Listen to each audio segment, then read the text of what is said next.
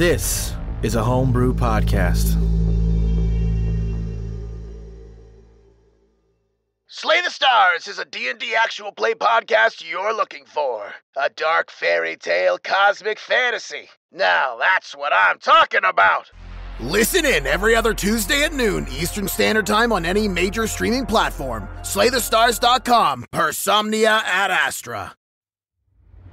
Hello, everyone, and welcome back to another episode of Mythcraft the podcast. Let's go around and introduce our acrimonious anarchists, starting with Nathan, Hildegard, don't cross me. Mal, Thistle Featherfoot, I got a lot of complex feelings about what just happened.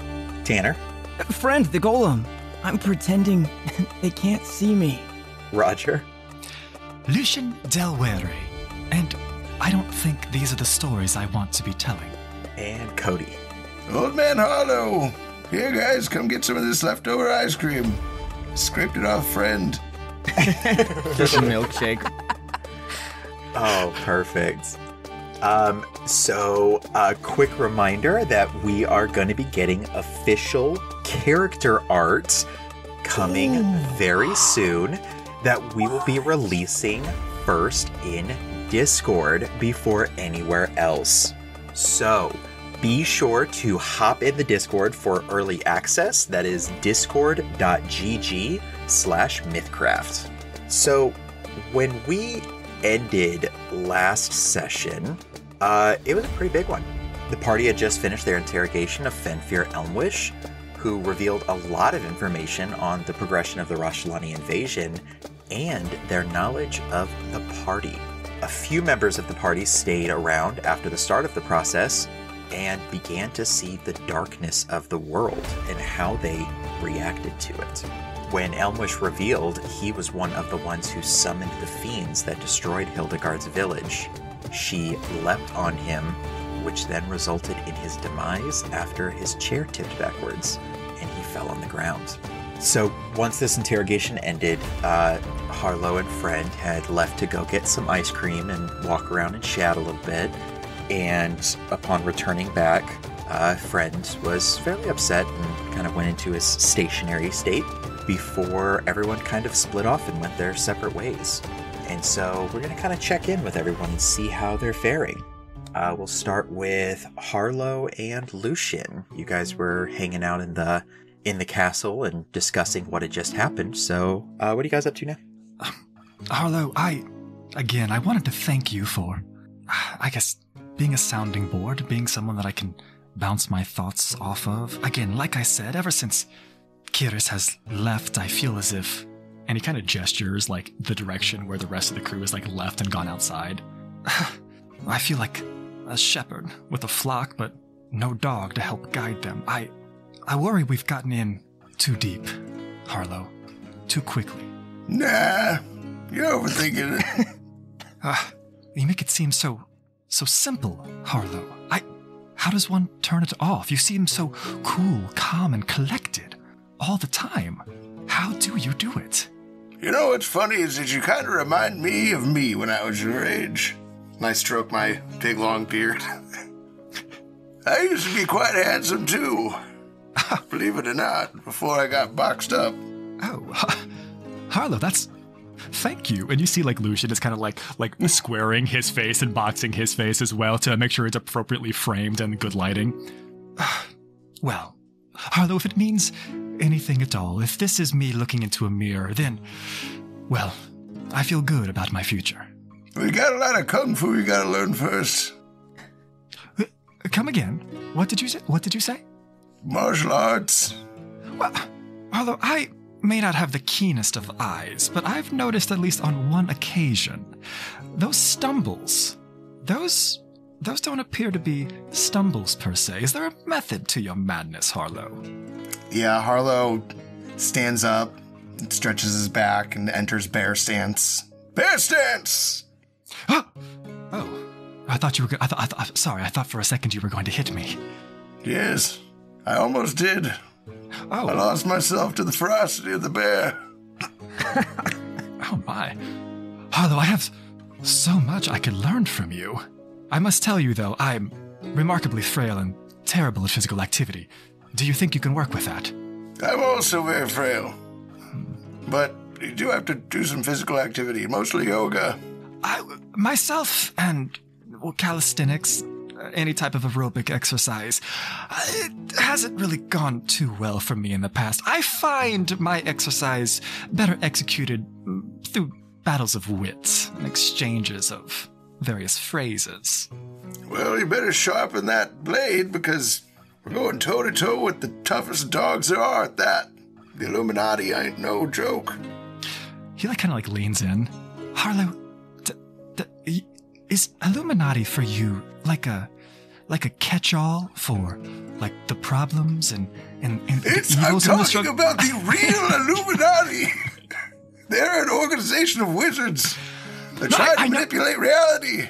No, no, no, no. A- Again, he like leans in. I, I know, I know, and you know that. I just, whereas I believe the Illuminati certainly exist and most definitely are pulling strings, I, I don't think they're around every corner, Harlow. And I, I, I fear they, I feel that they, they take up the crevice and corners of every inch of your brain. Well, they would yours too, and they will, eventually. The truth of the matter is, shepherds to the flock, however you want to put it, these people were already chosen by the Illuminati. Harlow, are you insinuating that it wasn't a random happenstance of Kiris pulling us all together in a tavern, that we were all selected previously by this shadow organization? That's how they operate. You would watch Lucian kind of like just like plump down into the chair and just begin to ponder Have I been underestimating Harlow in the way that they've been observing the world? Harlow, if well, this would change everything, Harlow. Do you have an idea? Well, I have several ideas at any given time. None of them are typically of much use.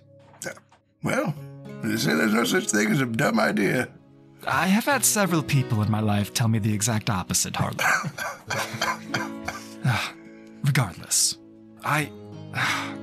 the others, I feel as though they need some space. I feel as though they need some air. What are what are you planning to get up to for the rest of our time here? Yeah, I was gonna wait over on that chair by the door until someone came back. And I was gonna gauge their response. Oh, the rocking chair over in the corner that seems to be catching that sunbeam beautifully. Yeah. You noticed the one with the cat? I did. And next to it, it has those crochet needles. Right, I'm probably not gonna do much with those. I don't know how I never learned how to do that. Well, Harlow, you wait for whoever you need to wait on. I think I'm of a like mind. I I know Queen Eltano was had quite a day, but if the others are going to be getting some air, I'd like to I'd like to fashion a plan of action. I'd like to know where it is we're going next and what we're doing. So you rest, have a seat. I'm going to wait for Queen Eltano to emerge and I'd like to speak with her. I think the others probably need some space and some time on their own. I don't want to bother them with this. Right. The fates are stewing at the moment. I'm just waiting for whatever's happening to happen. You go find out all the information you can, I suppose. I'll see. I'll see what I can find. And Lucian just kind of like picks up and goes over to a separate chair area and isn't like going to go seeking Queen Otano, but is just going to make himself available because he doesn't want to crowd her because she's had a pretty rough uh, couple hours as well. Good point. Yeah, I mean it's it's she likes uh, to drink. it's close to the middle of the day. Uh, Harlow, it's you, noon. You know that uh, it's basically she's probably going to be heading out for you know if she's still planning on eating at least. Uh, she'll probably be heading over for lunch here soon. They'll be serving a meal here shortly, and so uh, you know that she'll probably be heading out here fairly soon. Uh, even if it's just to maintain that decorum of you know being the being the queen and having her people see her. Yeah, I'll just make myself available that I can see them coming down like a hallway, but also like see into and out of the dining hall area that we've spent some time. Um, yeah. So where these chairs are in front of the fireplace, uh, to the left, uh, you saw the door that she headed into, uh, which is uh, also the same door that you saw her and Britt come out of once before when they were having their meeting before they came into the uh, dining hall. And then directly to the right is the dining hall that you all just fought Elmwish in earlier that morning. And so, yeah, I mean, it'll it'll probably be mealtime here before too long. Okay. And you'll be able to see her leave this door before she goes into the dining room. Beautiful. I'll just plop down there next to the hearth on the on the red couches. I'll pull out my songbook, my notebook, do some doodles, do some scrawlings, update some of the notes, and try to work on some of the stories and some of the songs that he's been writing, and just wait, bide my time. Perfect. All right. So Hildegard and Friend went ahead and uh, took off together. Uh, where did you guys go? Um, because friend is petried out right now.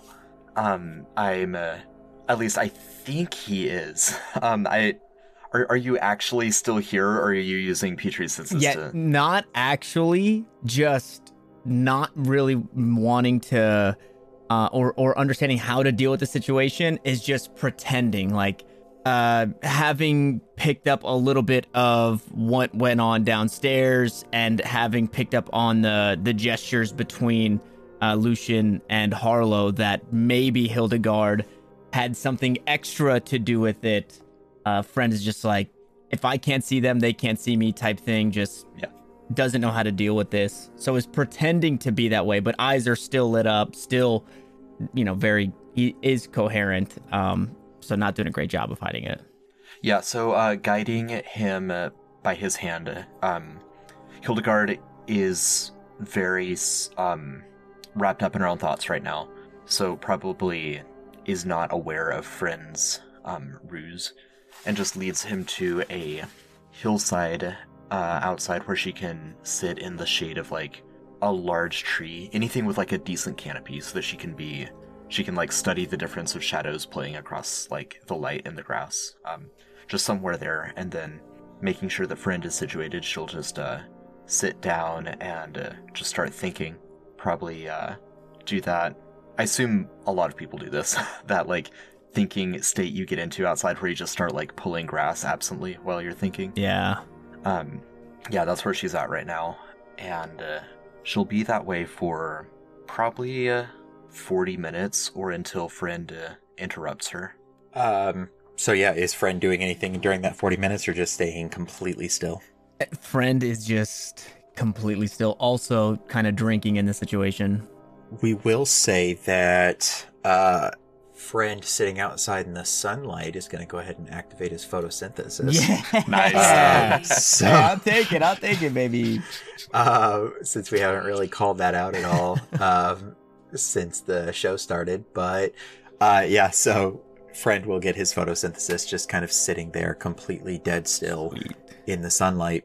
And that Uh, levels me up to 10 or 11. What was Uh, yeah, exactly. Um, uh, you're just gonna be the powerhouse now. Um, but yeah, so about 40, 45 minutes or so pass by of Hildegard just kind of hanging out in the uh, under the tree, kind of absent-mindedly just picking grass. And uh, yeah, after about 45 minutes or so, what's Hildegard's next kind of course of action? Yeah, she'd you know brush brush all of the dead grass away and uh, um, look over at friend who is still tranced out. Is Petrie around? Uh, Petrie is there. Yeah, Petrie has not Okay. gone anywhere. Yeah. Okay. So she would like wave to get um to get friend's attention through Petrie. Uh, and uh, waving at Petrie, friend would very slowly and slightly just turn and look to Hildegard, trying to get their attention. Uh, hi friend. How was your morning? It was good. Uh, Harlow took me to get some ice cream. It, I, I didn't save any for you. I'm sorry. I, I didn't even think about it, but he really seemed to like it, so I liked it too. Well, that's good. I'm not sure I've ever uh heard of that before, but maybe I'll try some sometime. It seemed like the there was one rare trader. It was kind of his uh his bread and butter, I think is what people say. That's that's what he did was ice cream. Fascinating. Well, that sounds lovely. We uh, we spoke more with um with Elmwish, and when I say spoke, I mean we we did talk with him, but we also did other things to him in order to try to get him to talk more freely. I know you're not too happy with that, so uh, I'm well. I'm glad you went there for it. What what did he say? he said he knew uh, a lot of things, knew a lot about all of us, like uh, like he uh, was uh, tr- watching us or pulling strings in our lives. He knew about what happened to me village. Have I told you what happened to me village? No, no. Right before I met you, right before I came to those stones, I was I was living in a village with uh, me parents and me friends, and uh, I was out in uh, the woods. When I was coming home, it got well, it got destroyed by demons and monsters. I'm not quite sure what they were, but I, as far as I know, I'm the only one that survived. And, and Elmwish was doing that? I don't think he was there himself, but it sounds like he knew that it was happening. I mean, he said he uh, summoned the fiends themselves, so whether he was there with them or not, I'm not sure, but um, he at least sent them, if nothing else. How how will you know if you were the only one left? Should should we go back? Have you ever been back? No, no, no, no. I, the idea of that clearly agitates her. She starts picking at grass more aggressively. She gets one of those like crabgrass roots that keeps going and going, and uh, she says, "I mean, I I just ran away, and just a few days after that, I met you. So no, I haven't haven't been back. Uh, suppose I don't know if anyone else survived. I just I can't imagine that they that they did. I'm I had no idea that uh, Elmwish was doing those things. I, I was just joking when I thought that when I had accused him. I I just didn't think it was Brother Brick. I, I didn't know that it, we would do those things to him because I said that he was the spy. I, I- I'm sorry, Hildegard. I mean, no, friend, it's a good thing you did. It led us to actually catching him. It's what we needed to do. Brick was innocent. We can't let bad things happen to innocent people. We can't let them be accused of the crimes of the guilty. I just wish, I just wish it didn't have to happen that way. I guess. Did did he say anything else? Why your village, or or you said he's been messing with all of us? Yeah, yeah, let me think what else he said. Um, well, he threatened Thistle's, uh, he threatened Thistle's parents. He threatened her, her inn. I, I couldn't quite get a sense if he'd already done something there, like he did to my village, or if he was just threatening that he would. He said that he had uh, spies and agents everywhere, that he's the reason that Kiris left us. Not that she's working with him, but that he tricked her, that he got his agents to bring her back to uh, Vanith, that's where she's from, so that she'd be away from us. I think she's walking into a trap. And, uh, I, I don't quite understand everything he said about, about, uh, Harlow and Lucian, but I think he might have done something to Lucian's parents too. He has a real, uh, problem with all of our parents for some reason. I think he even mentioned something about your creator. What about my creator? What did he say? Um, oh, what what did he say? I'll have to lean on Kyle a little bit for for that. Uh, part of what you remember is that he had talked about the fact that Friend was created as a tool of war for Rashalan. Thank you. Yeah, that he and Brick were both like instruments rather than individuals. Yeah. Okay. Yeah, he said um, I, he he equated you and Brick to like hammers and saws and stuff. You know, th- things to use, not people to be friends with. And yeah, maybe maybe he didn't say anything about your creator. Maybe I'm getting that mixed up with all of our other parents. But um, yeah, I he just had really terrible said really terrible things about you and Brick, and uh, either was responsible for killing Thistle's parents or threatened that that was what he's gonna do next. And does Hildegard mention that Brick and I were made for two made as tools to use for war or just tools to use in general? Uh, she would just say in general. Okay. Yeah.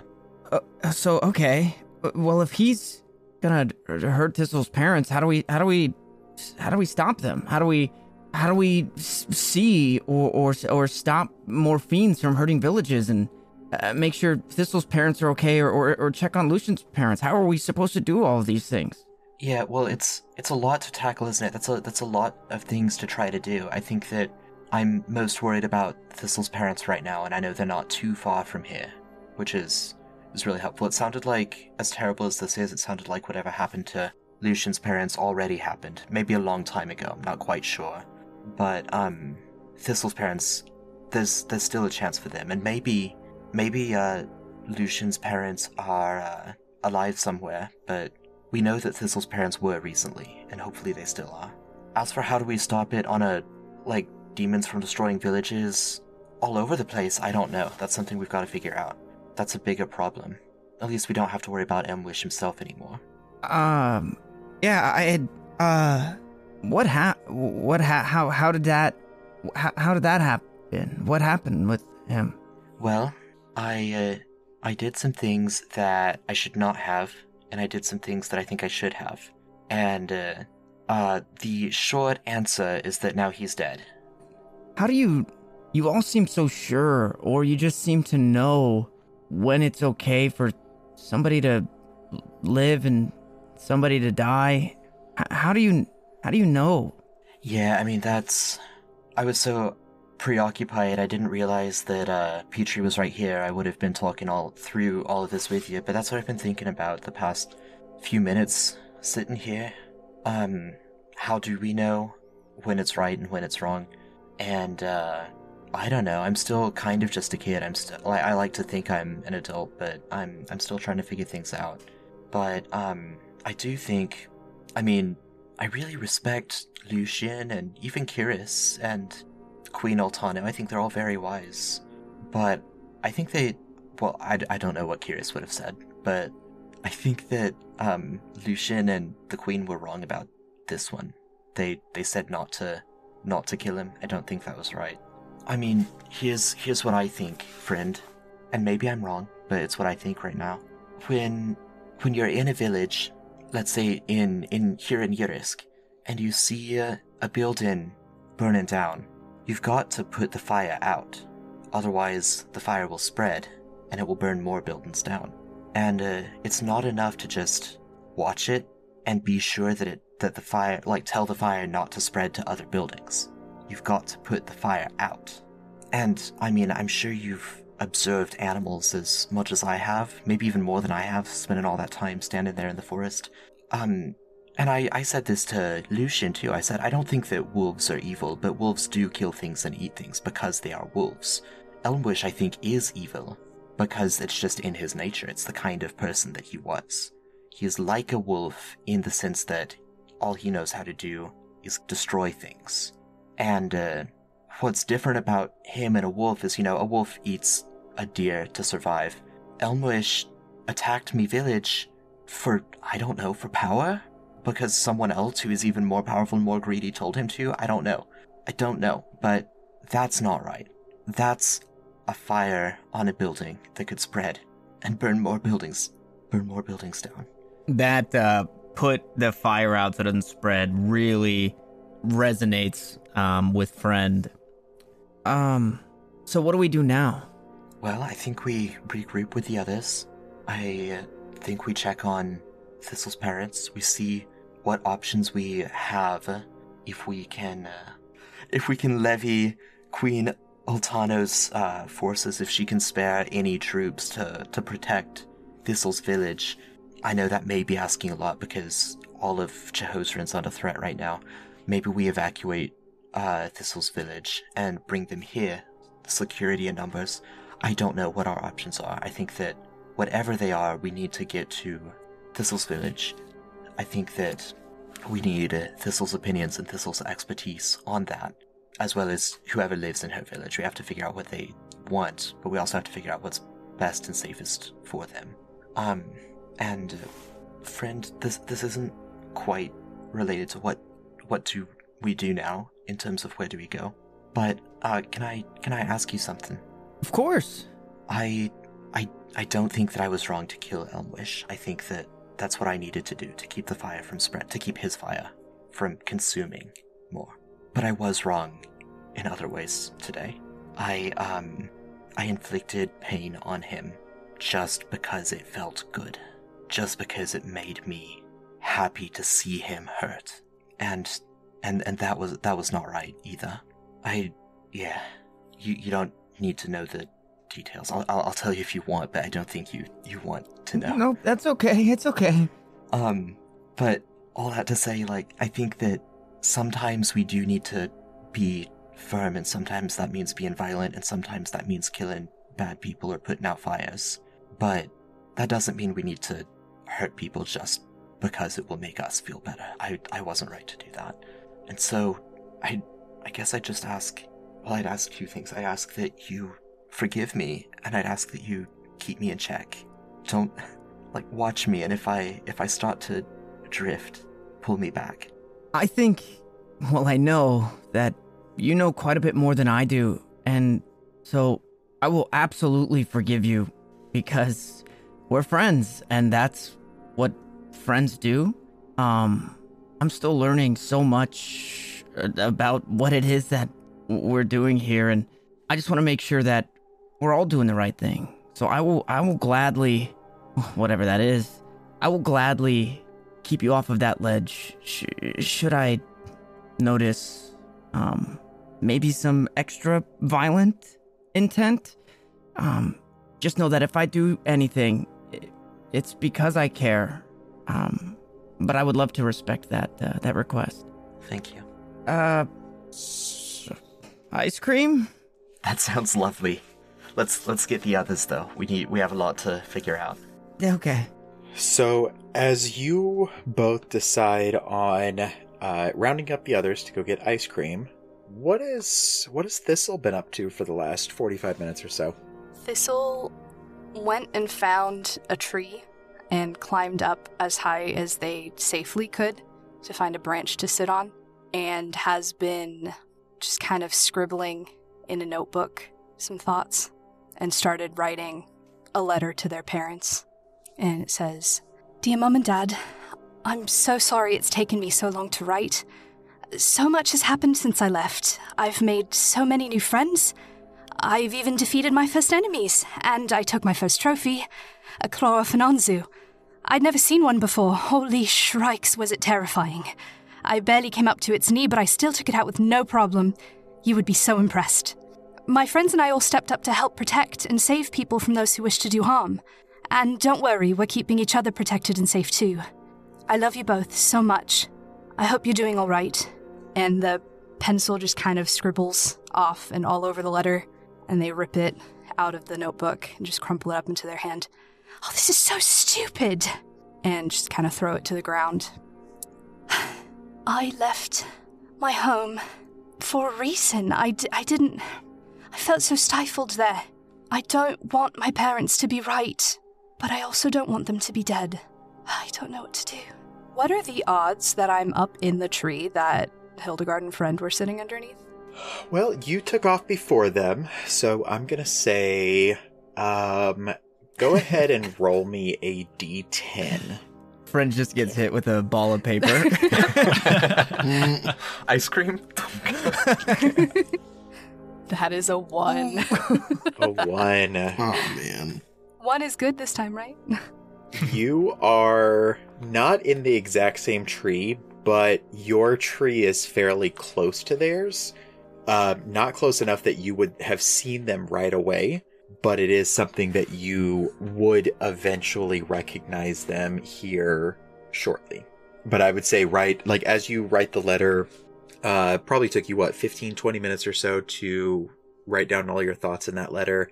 Uh, then you like crumbled it up and threw it uh, and then uh, you i'm going to say that you wouldn't have noticed them just yet I think after like a few seconds of sitting and expressing some thoughts, they'd probably feel bad for having thrown the letter because that is the first attempt to reach out to their parents. And they would scramble down the tree and try to go find the paper that they discarded. yeah i mean it's pretty easy to find uh, you know a, a sheet of parchment paper on the grass uh, as you do run down though you look over and you see probably about I would say about 75, 80 yards away is uh, Hildegard and Friend. Uh, and you see Hildegard just on the ground, just picking grass. Um, and uh, yeah, just appears like super deep in thought and not really like she probably wants to be disturbed right now, necessarily. Okay. Um, Thistle's going to do their best to straighten out the piece of paper and try to erase some of the scribbles so that it's still somewhat legible and, like, reverently fold it as if it wasn't just discarded as if it were nothing and put it in a pocket and, like, wipe wipe their eyes and make sure their fur is like normal, not like all bunched up and wet or anything. And very like don't be suspicious, start to like walk over to where Hildegard and friend are. As you start to walk over, you hear something kind of in the distance. You hear what sounds to be the formation of troops. Uh, it sounds as though there's a large number of troops that appear to be uh, like kind of shouting back and forth to each other and appear to be gathering. Uh, and you can tell that it's on the uh, so where your tree is. You're probably about I don't know. I'd say maybe about 20 yards from the left hand side of the castle. Uh, you can tell that this sound is coming from the right side of the castle, uh, not very far from it. Okay. Like in the direction that Hildegard and friend are, or like Uh, no, opposite direction. So where you are is you're on the left hand side of the castle uh, by the trees. This is almost directly on the other side of the castle, on the opposite side. so I wouldn't be running past them to find where the sound is. Uh, no, no, you would be running actually away from Hildegard and Friend to go and find the sound. Okay. I'm gonna roll a d10 this time just for my own personal reasons. And if you land on a seven, you get struck by lightning, remember? Um, well, I rolled a three, so I'm safe from lightning for now. okay, but that means I'm now changing my trajectory from running, walking towards Hildegard, and I'm just gonna run straight to the noise. Uh, yeah, I mean, it takes you, uh, it's, it's a couple minute jog. Probably takes you about five minutes to get from where you were to the other side of the castle. It's a pretty decent sized building. Uh, and you see on the other side a very large contingency of soldiers, not necessarily wearing any kind of one armor. It appears to be a variety of different types of either personally made armor or uh, things along those lines. And every bit of armor has a winged serpent in the shape of a circle on it. And you can see that these are the Chahosranese forces that are gearing up to head into battle. Is there someone kind of nearby that looks like they're somewhat in charge and not like actively moving with the majority of the group? Give me an awareness check. Okay, that's my combat sheet. um, could I do perceiving? Uh, I'll do perceiving, yeah. It's gonna be a total of 14. 14. So, as you kind of glance around, you see that there is. What you've learned being here in Yirisk is that there is not a necessarily an official rank structure, not necessarily an official, like, these people are in charge type thing besides the queen. But the one, there seems to be one person that everyone um, is listening to uh, and, and is directing others uh, and you see that there is a satyr woman who is standing uh, and kind of like pointing around for different people and like having them get into different groups. Uh, and you see that there are some groups of individuals with bows that you could tell is the more rear ranged contingency uh, to pull up the rear flank. Uh, you see that there are a number of individuals with like spears uh, that are going into one group that seem as though they would be, you know, like the uh, the lead flank to be able to prevent any kind of maybe horsemanship, uh, as well as a group of individuals with just a hodgepodge of axes and swords and scimitars and and all kinds of things to make up more of the middle.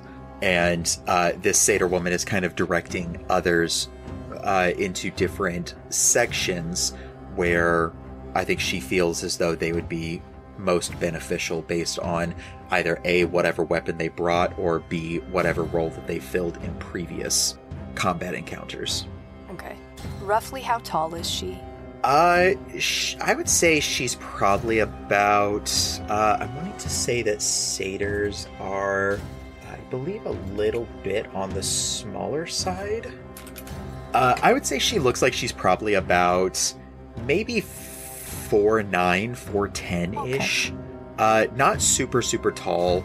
I would say probably about about average for a satyr female in this area would be roughly a little under five foot tall. Okay. So I don't need to jump to get her attention. Well, not that high anyway. Right. Um, I'm gonna run up to her and uh, just say, "What? What happened? Did something happen? What's going on? Was there an attack?" Uh, with just the information that we received from the Queen, uh, it is about time for us to begin to mobilize and move towards the border uh, in case any forces decide that they want to finally make their push. So we are going to be mobilizing across the border, and hopefully we can stop any uh, invading forces in their tracks.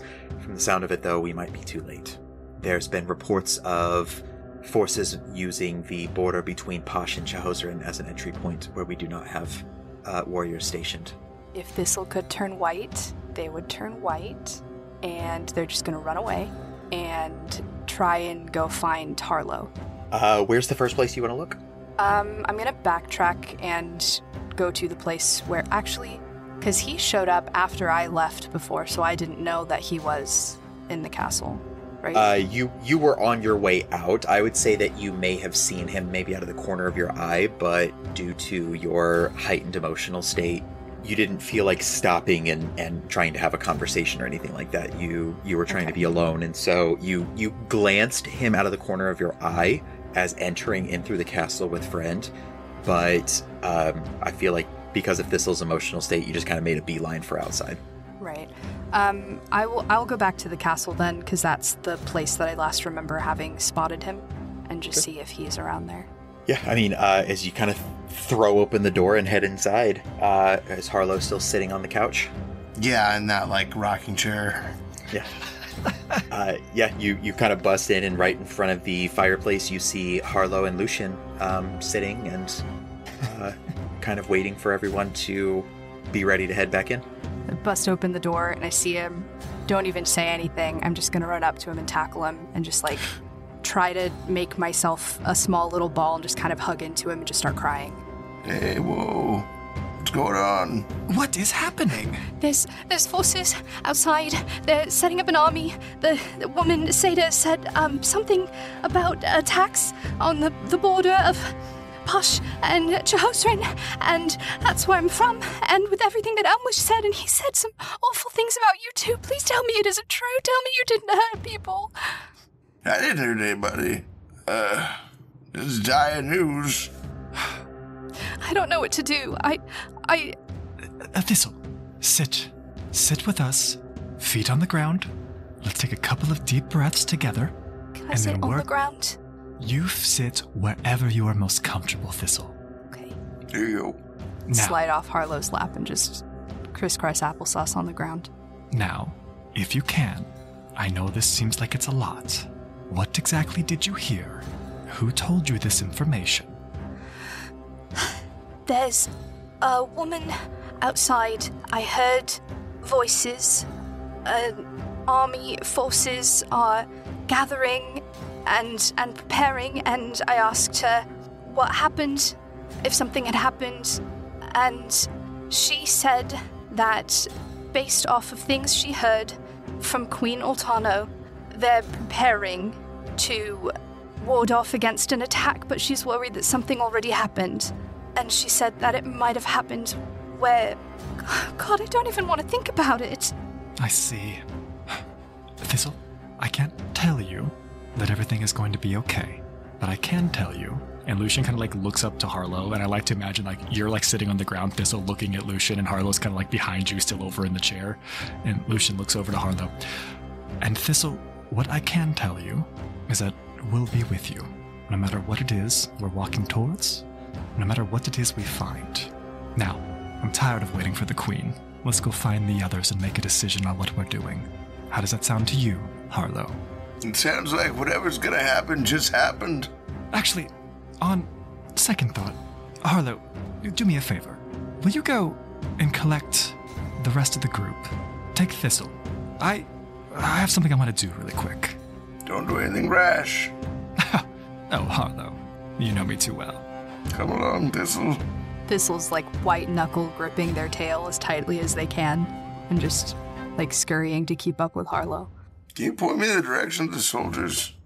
They were outside on out here to the right. Do they look like they're like, I like you said they're mismatched and all that stuff, but they're not getting ready to like march out tonight, are they? Because of Harlow's history, I would say give me. You don't have any kind of skill in military, do you? No, I don't think so. But are they like, you know, setting up camps? Or are they. They appear to be gathering up supplies and getting into, um, not necessarily formations, because Shahozrani's uh, military forces do not do like official formations necessarily. Um, but they do seem like to grouping be. off. Yeah, they're they're definitely grouping up. Uh, they are gathering up weapons and different armors and things of that nature. You see a couple of kind of crude shields being passed out. A combination of like kite shields, heaters, uh, a number of different things that appear to be have been very crudely made, uh, and then some that do appear to be much much better quality you see that there are a couple of them, I will say, because of Harlow's kind of awareness, that you see that there are a few of these shields that appear to have an engraving of a shield with a griffin on it scraped off and a winged serpent in a circle painted over it. So these appear to be like spoils of war, essentially, that have been confiscated and repurposed for their military uh, based on any kind of skirmishes that may have happened at the border or anything along those lines. Because they did say that they had killed a few scouts, captured or killed a few scouts that had made it through the border.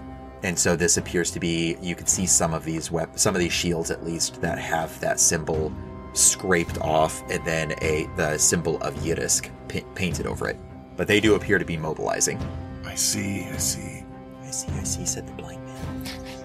Well, I guess my thought process, I don't know if I can explain it, is just that if they're getting ready to theoretically get into skirmishes here, there's a pretty good chance that they're not fighting on like two major fronts. It does not appear as though they are getting ready for a skirmish in Yirisk. That they are heading to. They are. They're moving out. They're. They're heading over to the border.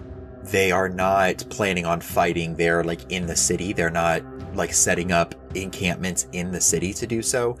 They are going to go and reinforce the border. I see, I see. Well, let's round up the others. Uh, I would say right around this time is whenever Hildegard and friend come uh, looking to go have ice cream with everyone. No time for ice cream. Such a vibe shift. I would say uh, as like they come in and Harlow and Thistle come back, uh, Queen Oltano is going to come out and start heading towards uh, another room next to where the dungeon was, Oh, walking by where Lucian has been sitting. uh, this is my this is my moment, and I I take off and I trailer. Okay. Uh, she kind of enters into this room to the side and is just about to close the door behind her. Yeah, and it's like really deft, and it's certainly not like he's practiced this several times before as he is trailing other people through hallways and corridors. He just like slowly slips his foot in there, and before it shuts, it's like weasels his way through there. Um, oh, um, I'm so sorry, Queen Queen Otano. Do, uh, do you have a moment to to speak, or have I caught you at a bad time? As she kind of turns to look at you when you put your foot in the door, you see that um, being elvish, a lot of her features kind of have that. Um, I don't want to say perfection, but that that kind of very smoothness, everything. Ageless. Yeah, it it's definitely very ageless, but it, it there's not a lot of imperfections necessarily, uh, because not only is she elven, but she is also part of the monarchy, so she, you know, very likely has good skincare routine, uh, if anything. And so, uh, as she turns to look, you see that her eyes are bloodshot red, uh, and her cheeks appear to be flushed. If I could take back that last sentence, I would. That was a foolish question to ask, of course. this is a bad time. I apologize. I was only hoping uh, a few moments in private to speak with you. She kind of holds open the door and lets you in before closing it behind you. And you see that the room you're in has a very large four post bed um, and a desk in here. But you see that the pictures on the wall are covered with a sheet with like uh, dark linen. Hmm. How can I help you, Master Lucian? Somewhere in the recesses of Lucian's mind, he craves knowledge and answers about what is going on in this room, but he knows time and place. Um, well, Queen Otano, I. I'll speak as plainly as I can. Much has transpired in but the last few hours, and even more so has transpired just in the last few moments. My traveling compadre, Thistle, has explained that you are mobilizing units. Is this true? Based on the information that Elmwish has provided, we must seek to reinforce the borders uh, to prevent any potential invasion. Uh, I will be leaving a contingency behind in order to support the city should anyone make it through, but a very large number of our forces are going to be uh, in the trees around the border in order to potentially ambush anyone who is who makes it across. I understand. I understand. It's well, it's a reasonable decision. It's a very wise decision. The Queen Otano, I, as we came here as volunteers from from Paj, but you, this relationship, this is the closest thing that I have to a contract. I, well, it's not important. I, you heard just as well what Elmwish said specifically about young Thistle's family. I wanted to come and I wanted to ask your leave. I do not know what hopes or what plans you had for us, but I did not wish to disappear in the night. I wanted to make sure that we had closed our business and that we can move forward. I want to be of aid and I want to be of assistance, and I know that we promised we would stay and help, but you should have seen the fear in that young Kleppen's eyes. I'm asking your permission to take our group and head to her home and check on her family. You see, she like looks over at the desk there. Uh, go ahead and give me an awareness check, real quick.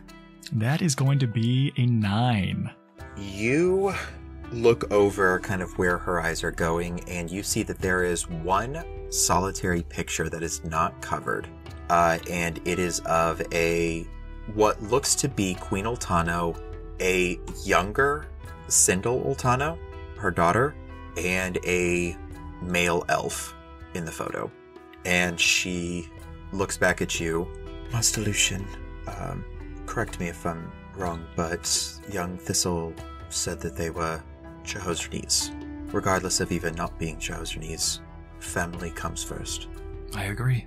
And so, if you need to take leave to go and ensure that family stays family, then I only wish you a speedy return after that business is concluded. Lucian kind of lets his eyes fall onto the the photo that you've just described, and finally like comes back and meets Queen Altano's eyes. Thank you, thank you for understanding. I family comes with challenges, but we oftentimes do not fully appreciate those challenges until we look back on them fondly. Thank you for this leave. And he does the same bow that he has been doing and like starts to move towards the door because he's getting the feeling that she needs some time and needs some space. If you need a ship, um, I cannot uh, I cannot provide any personnel at this moment, but the majority of our conflict exists on land, not by sea. And so, if you need a ship to get you to Thistle's home quicker, we can have one of our more magical ships take you. We simply would input the coordinates, and the ship would get you there fairly quickly. I don't know exactly how far you're going, but um, I believe that the young Kleppin said that their inn was on the border of Posh and. That would be much faster by river than by horse or foot, and much safer as well. Queen Altano, your grace, your your kindness knows no bounds. Thank you. That would be much appreciated. I will uh, send word for you to take a ship, as well as for you to be taught the spell word to have the ship bring you home uh, whenever that is done. Thank you. And Lucian like kind of goes to reach out for like the handle of the door, and before he actually like grabs it, pulls it, twists it, whatever the appropriate thing, bops it. I don't know. Um, he, he's going to say, "What was their name?" As he just glances to the left over at that photo. Hamish. Hamish, I know you did not ask for an opinion, but well, I'm not one to keep my opinions to myself. Memories are good and well, but stories, stories live on.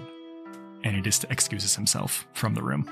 As you uh, as you do leave, you hear the door lock behind you, and um, you see like there's a small little mote of light essentially that goes underneath the door and shoots out.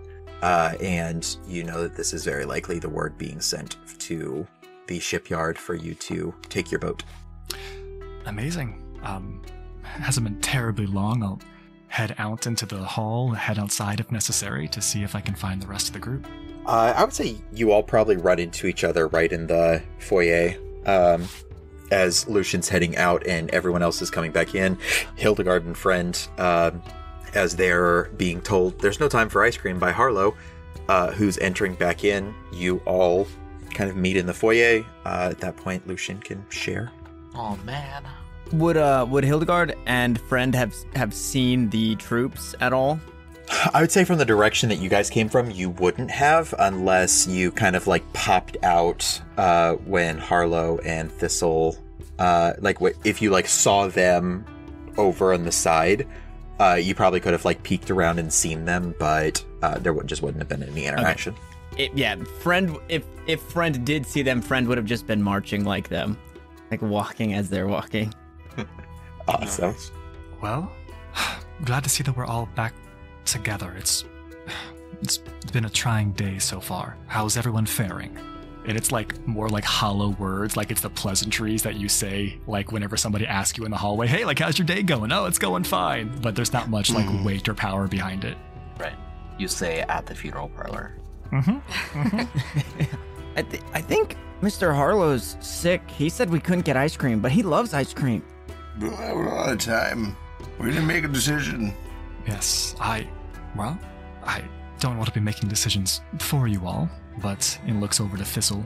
I stole away and had a brief conversation with Queen Altano on your behalf, Thistle. I've secured us a ship. If you would like to go check on your parents, Queen Altano has provided a ship which will get us there as quickly and safely as we possibly can.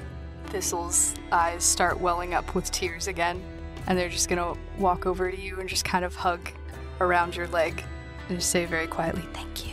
There's no need to thank me. It was the right thing to do. Um, so, um, I I guess we leave now? I think that's a great idea. I heard your parents might be in danger. Yeah, um, I heard that too. I'm trying not very well not to dwell on it too much. I I also heard that I was created as a tool, and if that's the case, then I'm gonna be the kind that saves parents. That's the kind of tool that I'm gonna be. Oh, friend, you are certainly not a tool. I've met many tools in my day. Oh man. Fred has no idea what that actually means. you, you know, Mr. Lucian, you didn't tell me you've met other golems.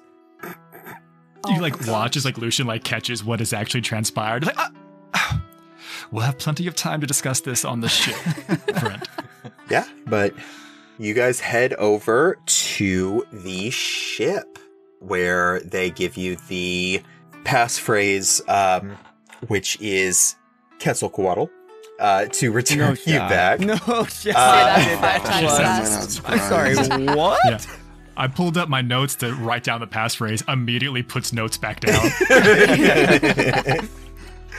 Uh, I feel like our I, I feel like our one oracle is going to be the only one who will remember that. Um, but yeah, so where you can see on the map, uh, so Yirisk is at the end of the river between Posh and Chehozrin, uh, up by the mountains. That's where you guys have been, way over in the the north direction here.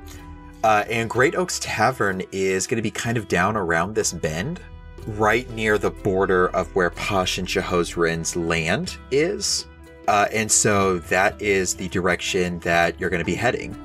Based on the what's transpired here, it's probably gonna take you, I'd say, around three days going max speed to get there.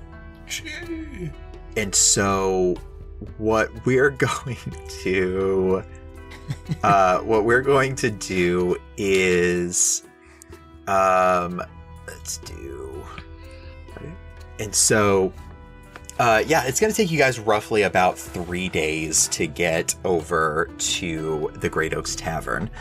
Uh, and that is going max speed. Uh, they went ahead and put a little bit of a of an enchantment on the boat too to try to get it there faster.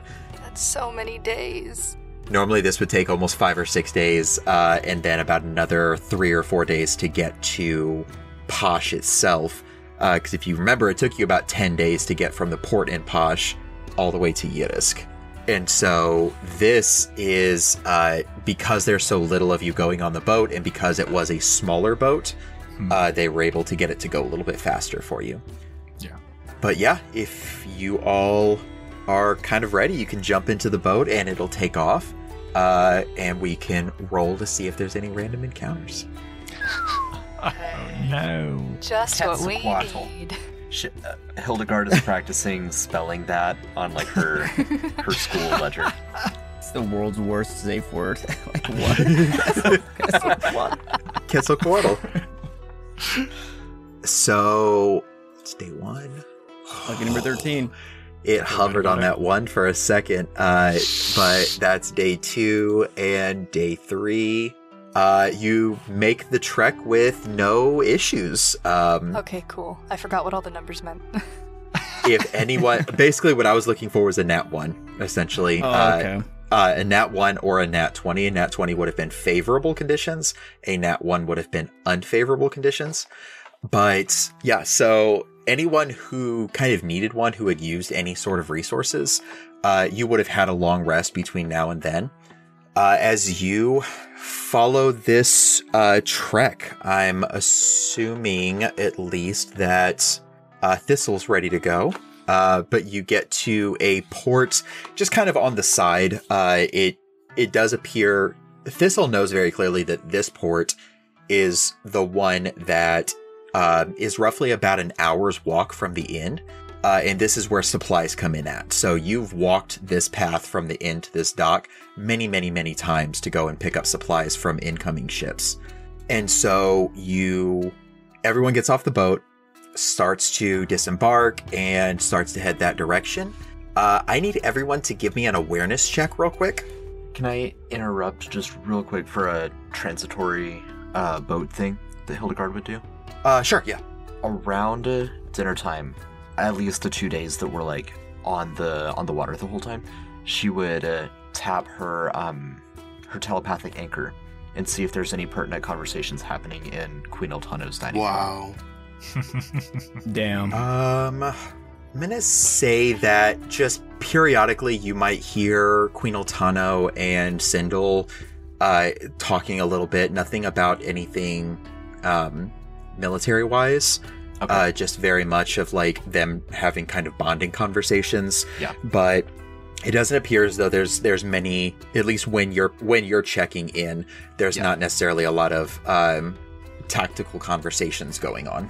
Yeah, um, whenever whenever there's like a day that is quiet and not a lot of stuff is going on, uh, Hildegard will briefly check in at uh, breakfast and dinner each day, uh, just to, for military information to see if anything comes up, or for blackmail, but Yeah. Uh, primarily for military. What? The very was first day you were on the boat, there was no uh, no one was in the dining room at all for breakfast or dinner. Um, Okay. But then the second day they started going to meals again. Okay, so Harlow got a twelve. I have Yeah. three questions. Nat one. yeah. Yes. First question Would the boat ride be enough time for Thistle to have um, turned the claw into like a properly fastened dagger? Um, I will have to. If not, then take What the is- enchantment off. We'll take the five to six days. Yeah. uh, what was the check for that again? Oh, that's Um, a good question. Because I think to turn something into a weapon, it would be a check. But I'm trying to remember what that would be. I'm not. My goal is not to turn it into another master weapon. It's just to Yeah. properly. Just to turn it into like a weaponize dagger. Yeah. Rig? Would that? I would no. s- I would say just real quick give me like an intelligence check. Okay. If you have a crafting skill you want to use. I do. Oh, Okay, I have leatherworking and I have wood carving. I don't feel like either of those would be Because sufficient if in it's making a if dagger. it's carving a wood handle and a leather strap to make sure it's fastened properly. Uh, Sell Uh, it. Sell it. Okay, okay, I can see that. Uh, yeah, you can go ahead and give me that check with the plus six. Okay. That's so disappointing. A total of 14. It could have been so much better. 14's still not bad. Um, I would say that, you know, a 14's really not bad with you not trying to turn it into any kind of like magical item or anything like that. You're just trying to sharpen it and like turn it into a dagger. So I'm going to say, yeah, you have an Anzu claw dagger now. Amazing. Um, on to my second question. Could I roll um, perceiving instead of awareness while we're taking this trek? And third question, can I roll with advantage because I live here? Uh, I actually thought about that. Yes, you can use perceiving. Um, Okay. We're gonna say that with the panic that Thistle's having, I'm gonna cancel out the advantage on that. Okay, fine. If we could do. Oh, well, that's okay because I Yeah. rolled a natural 20 anyway. you would. Get owned. so um, that is a total of 23 for our, our listeners. This is just a series of people hitting like Uno reverse cards back and forth for like six minutes at the game. Unfortunately, the nat 20 just means that you get the bad news even faster because Oh, you yay. smell smoke. Oh, Oh no. Barbecue? Uh, soon. And it's definitely fun and Kyle. safe. I know you had a long day. You don't have to rain it down on us, brother. Come on, come on, Kyle, take it easy. you don't have to do this. You smell smoke, and you can see the smoke in the distance coming exactly where your inn is. Um, okay. Thistle has been hurrying up until this point, but as soon as they smell that, they're just gonna stop dead in their tracks and just kind of freeze. Is something wrong? It doesn't smell right. I. I don't know. I don't know if I'm ready to see what I think I'm going to see. Thistle, this isn't about being ready. I don't think that's possible. But we're with you. We're here with you. And no matter what we see, we'll still be here with you. Come, let us check on your family. I hope there's someone left to check on. And they're gonna continue going.